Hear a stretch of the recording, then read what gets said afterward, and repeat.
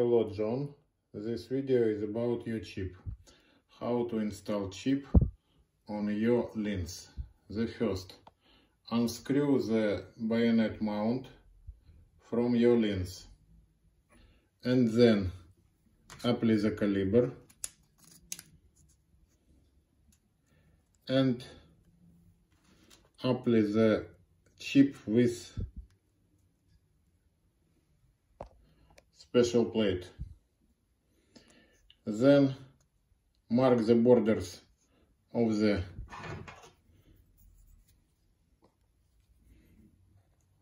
chip inside your mount. Then remove the black paint inside on the place your mount and install a little piece double-sided adhesive tape.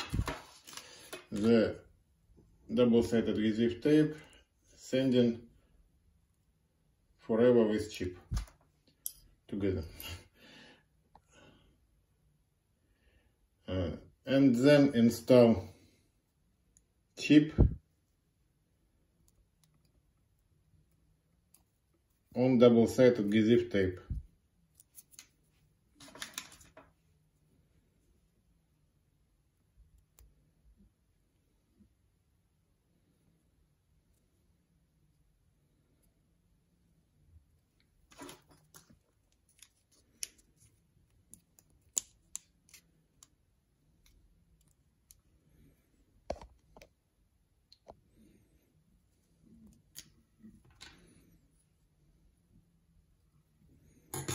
And then check the bayonet mount with chip on your camera. Look, if your camera shows the diaphragm, you do it all right. If your camera not show the diaphragm, little push and turn and then another time mark the borders of the chip inside the your bayonet. I pre-programmed focal length is 40 millim, uh, 400 millimeter.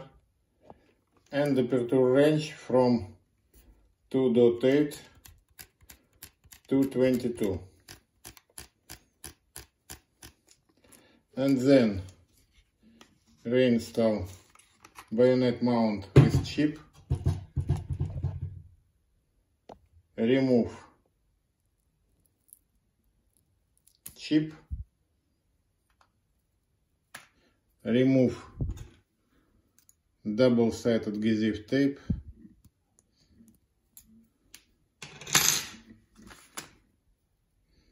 Then degrease all places on the chip on the and inside the mount. And then install